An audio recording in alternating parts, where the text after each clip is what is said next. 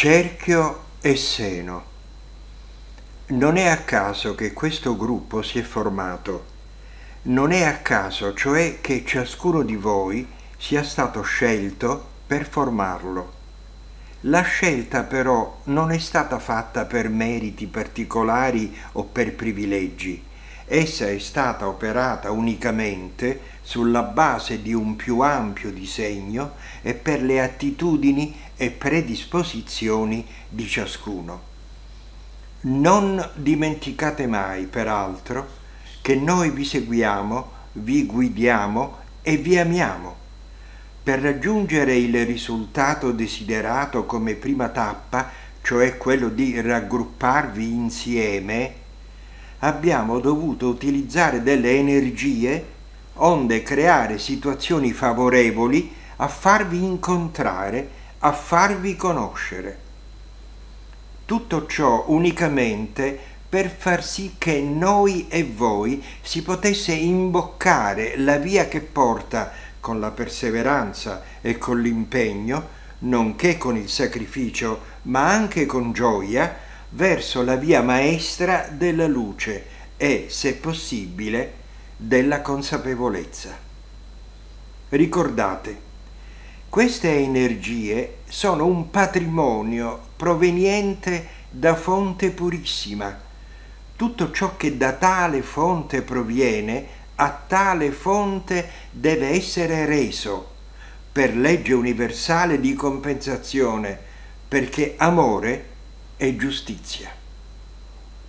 E per questa giustizia superiore, tutto ciò che l'essere umano turba con il suo pensiero, con le sue opere negative, per deliberata imprevidenza, dovrà essere riequilibrato, inesorabilmente, da lui medesimo, cioè compensato anche con dolore fisico o morale, quando è necessario per l'evoluzione.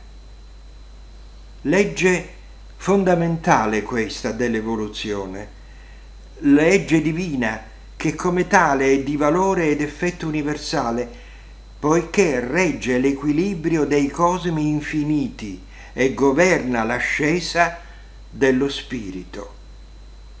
Tale legge va accettata con serena consapevolezza come espressione dell'operosità dell'amore universale e come difesa dell'armonia del creato. È proprio per effetto di essa e della sua ineluttabile ricorrenza che l'essenza spirituale incontra le possibilità per espandersi e illuminarsi, che miriadi di luci intelligenti affiancano le entità incarnate, raccolgono il loro appello sincero. E così, fratelli amati, che amore e dolore si compensano, e così che ineluttabilmente le creature oggi soccorse saranno prima o poi soccorritrici. Ritornando al tema iniziale, vi dico, Difendete quanto oggi vi è dato. Difendete l'amore che vi viene inculcato.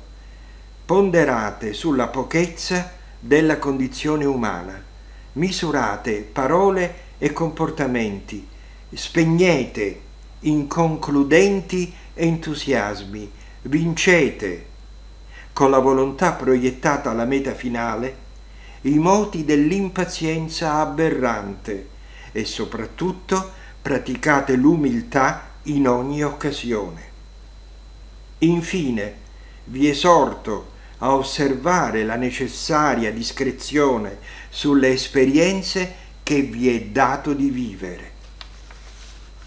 Non dimenticate mai, amati fratelli, che il legame che fa da ponte tra le due dimensioni è sempre esilissimo difficilissimo da annodare in fase iniziale, precario da rinsaldare nel tempo per le più disparate ragioni, spesso indipendenti dalla vostra volontà singola e purtroppo quasi impossibile da riannodare una volta interrotto.